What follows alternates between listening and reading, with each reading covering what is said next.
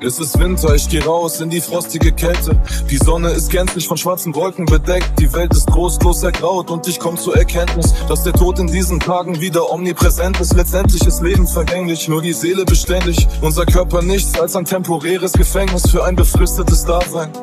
Doch ich will mehr hinterlassen als nur einen Namen und paar Ziffern am Grabstein lieg in der Honeymoon Suite. Doch schlafe nicht viel, denn ich weiß, ich kann zwar noch Milliarden verdienen, doch kein Geld dieser Welt verschafft mir die Jahre, um die Dinge wieder gerade zu biegen, wie die Stahlindustrie. Doch ich kämpfe weiter und der Teufel wird versagen, denn egal was einmal war, heute ist mir klar, meine Vergangenheit ist finster, weil das strahlend weiße Licht meiner Zukunft auf mich scheint und einen Schatten auf sie wirft.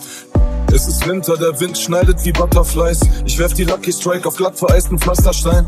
Schnee wird umhergetragen von dem Windstoß. Ich zieh den Schal enger und den Kragen bis zum Kinn hoch. Die Luft ist eiskalt und klar, wie ich zu der Zeit, als ich Gras und Speed verteilt hab im Park, weiß keinen einzigen Tag ohne Sorgen gab. Und ich bis morgens wach lag, weil ich gefroren hab. Betonweißer Rauch steigt von Schornsteinen auf. Ich steig in den Benz, warte bis die Frontscheibe taucht im weiß-goldenen Licht. Vorbeikommende Kids meinen zu mir, dass sie später mal so sein wollen wie ich. Und das hier ist für jeden Fan und Supporter von Kollega, der sein Debüt mit dem ZHT Volume 1 erlebt hat. Jeden, der die RBA-Runden im Internet gepumpt hat. Jeden Hater, dessen Kritik mich nur indirekt gepusht hat.